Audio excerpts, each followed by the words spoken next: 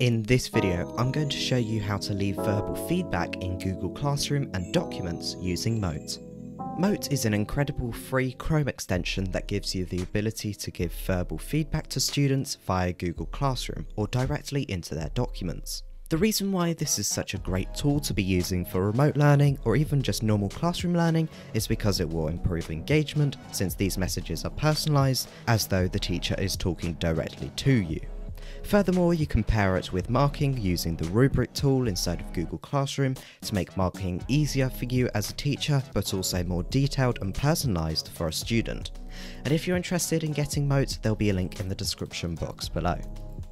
To use Mote inside of Google Classroom, once it's installed, you need to head on into an assignment and create a private comment. And as you can see at the bottom right, the Mote logo is there. If we clicked on this, it will start an audio recording. And all we need to do is narrate over somebody's work, analyse it, give feedback, tell something the students got wrong, or even congratulate them on their work that they've completed. And then once you're done, all you need to do is click done on the left hand side, and it will generate a link which should look like this. If you would then post this onto Google Classroom, there are two ways students can access this. If students have the Mote extension installed, they'll be able to play it directly from within Google Classroom. If not, that link that it just created, students can click on that and it will take them to a page which looks like this.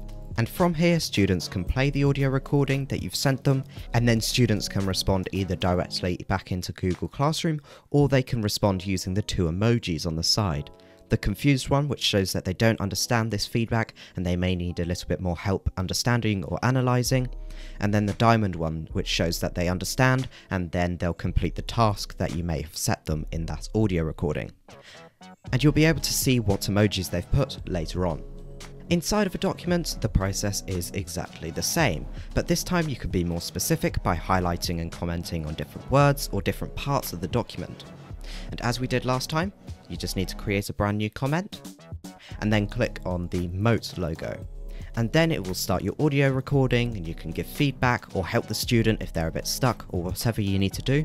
And then click done and it will generate our link. But from here, if you go to the bottom right and you click on this pen icon, you have the ability to add your transcript of what you've said inside of your voice note you can listen back to your voice note if you wanted to, and you can even have the ability to translate it into a plethora of different languages if you wanted to.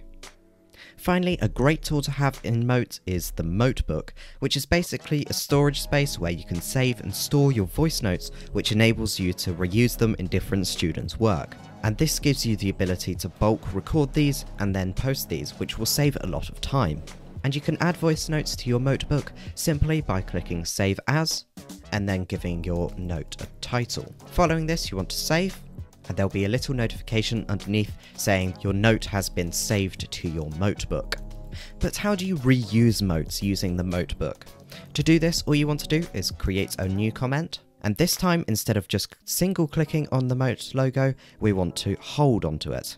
We can click one of the options that we've already saved, for example, this one that I've just saved, and then all we have to do is just click comment and it will make a copy of the mote that you've saved into, from your notebook and it will import it into this document.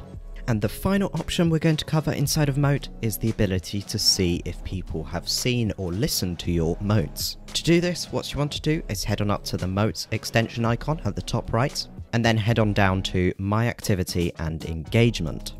From here it will open up a page with all of your voice notes that you've created and from here you have the ability to change a few things.